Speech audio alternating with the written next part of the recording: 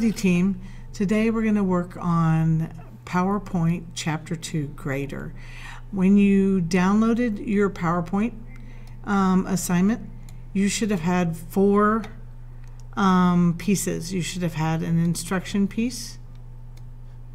You should have had a RTF document, which is called Rich Text Format with an ending of STEM. You should have one PowerPoint that we will ending in Word, and then the student PowerPoint is the PowerPoint you're going to work on. I suggest to all my students that they open it and resave it again and call it one for the first time they attempt, or two, or three for each additional time. So just get rid of the front, call it one for the first time you're trying this chapter two grader, and save it with your last name. Make sure you upload that file when you're ready to get going. So this one Lewis exploring will be the file I will upload to my IT lab for grading. I do need to make sure that file is closed and no longer open on my computer when I upload it for grading. All right, let's get started. This is our um, PowerPoint and we downloaded Exploring PO2 Grader H1. And now I'm going to go ahead and go to step two. Make the following changes in slide one. In slide one, click to add a title, Women in STEM, and click to add a subtitle, Science, Technology, Engineering, and Mathematics you can now click the subtitle box and make changes on the subtitle or you could highlight all the words and make changes that way. It asks us to change to a font size of 20. I'm going to come over here to the Home tab and to Font and I'm going to change my 28 to a 20. You could also do the pull down menu. Either way would work. Okay? I'm going to save because I'm finished with step two and then I'm going to go to step three. Insert six blank slides, six slides with a blank layout. Okay, I'm going to click after my title number one slide in my thumbnail view over here and go to new slides, go to blank and click blank six times. And now we finish that and it says switch to outline view. This is what's called normal view. I'm going to come over here to the view tab and see here's outline view. It will give an, outline. We can type over here and it will insert the type on our slide stage. We have a slide sorter where we can move our slides around. We have a note page where we can create our slide but have additional notes for the speaker or for handouts. And of course, reading view. Reading view is larger and just to see the whole slide as a presentation. I'm going to hit escape to exit that. And then I'm going to go back to outline view. Okay, in outline view, we're now done with step three. So we're going to go down to step four and we're going to start entering some text.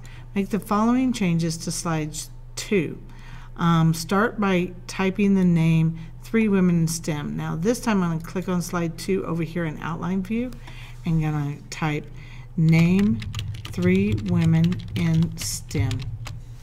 And it says add three level bullets. To add a bullet in outline view, you press your enter key once and then your tab key once which brings you back up for a bullet level. And I'm going to type my biology teacher,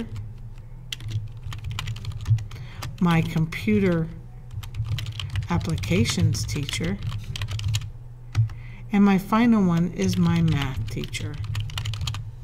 And I'm done with step one, four, and I'm going to save. Step five, make the following changes to slide three. So I'm going to click on slide three and I want to replace the title of the presentation. So I'm going to click on here and click up here in title. Thinking on a bigger scale. So I'm going to think on a bigger scale. And now this time it wants us to add second level bullets. Now enter and tab will give us one level, but if we hit tab again we get a hyphen level. We are to type national names and a question mark and international names and a question mark. And then it says add a speaker note. These may be hard questions to quickly answer because there are relatively few women in these fields. I'm going to highlight my notes and go click that over in the speaker tab. All right, I'm going to save because I finished step five and now I'm going down to step six. Make the following changes to slide four. Clicking on slide four. Here are some names to get you started.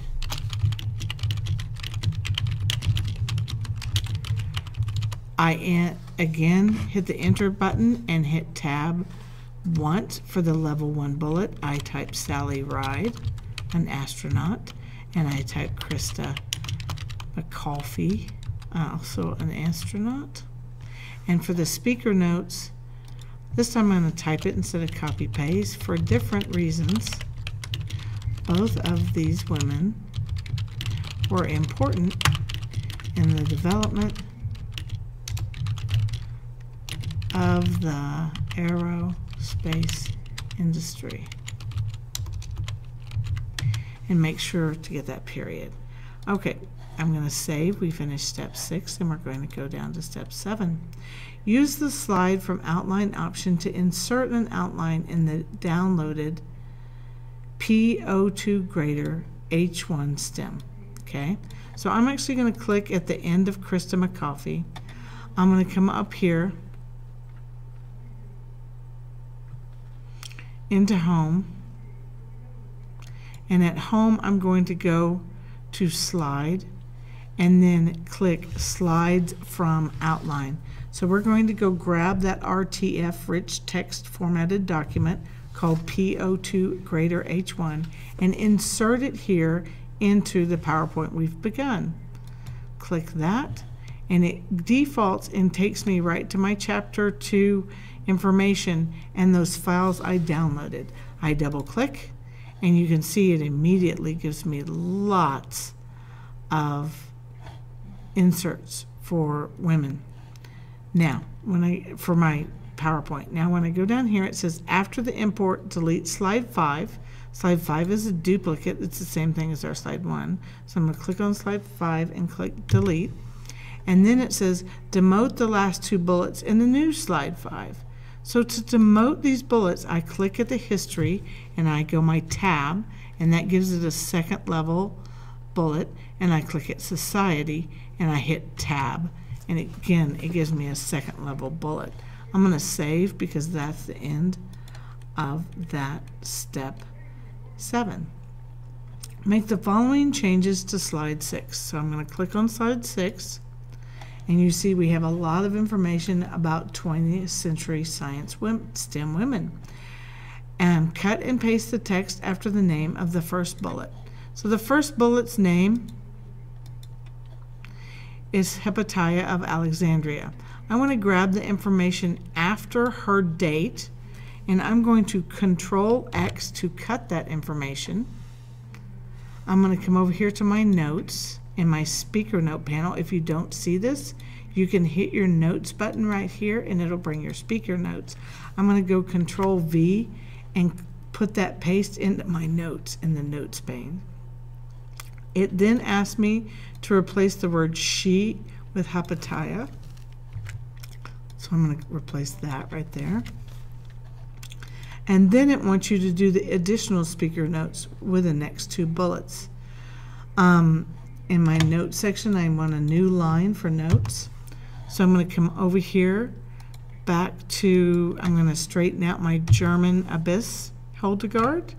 I'm going to come after her date and highlight to the period. I'm going to go Control and X to cut that and come after my Hypatia information and copy Control V or right click and paste either way.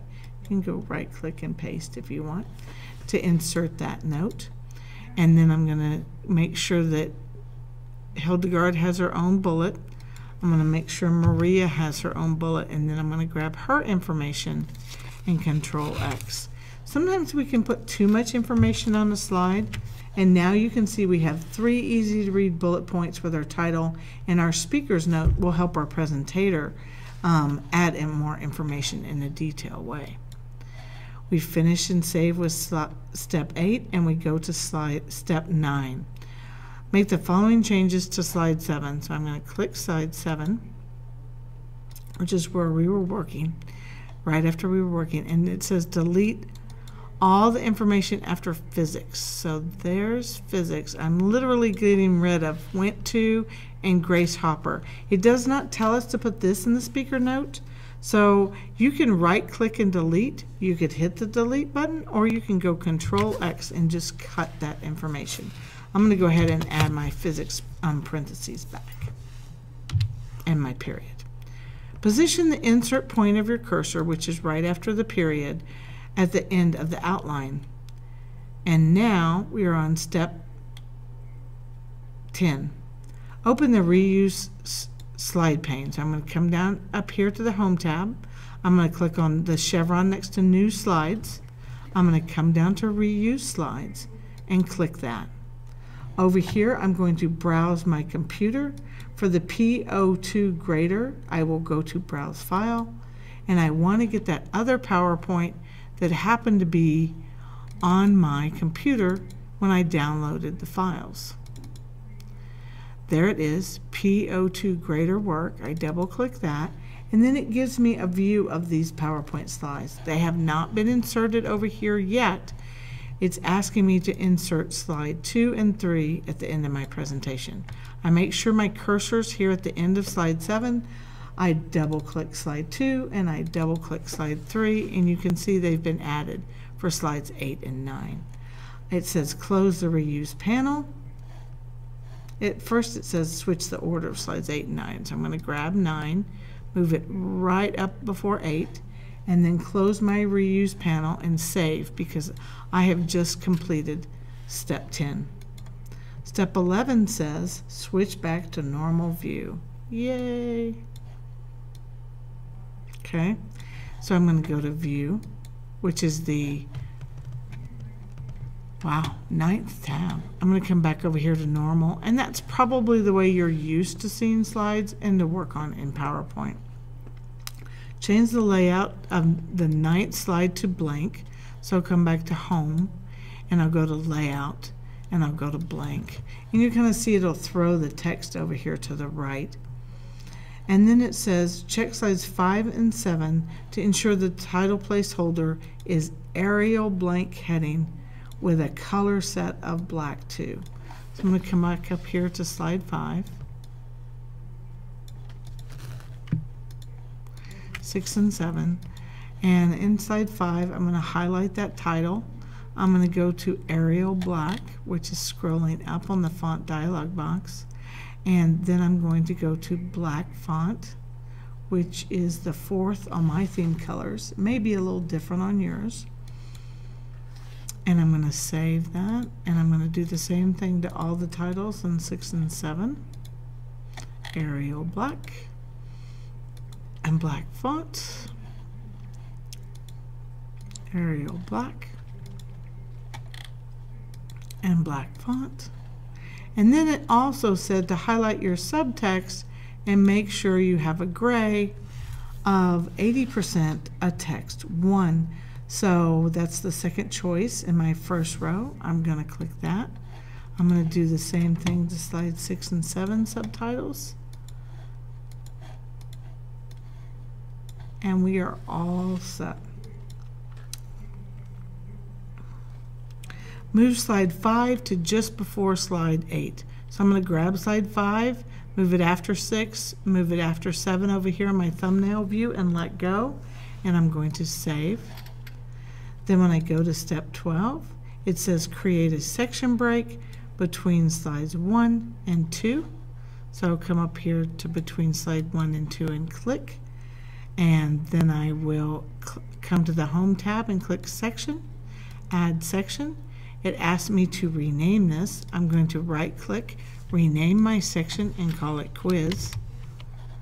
I'm going to do the same thing between slides four and five. Click between them, come to the home tab, click selection, add section, right click section, and type the word history. And hit rename. And then it tells me to do it finally again between slides six and seven. I click, I go to the home tab, the slides panel to section, add section, and type, right click on rename section and type reasoning and hit rename. That's the end of step 12. Now it says save the presentation.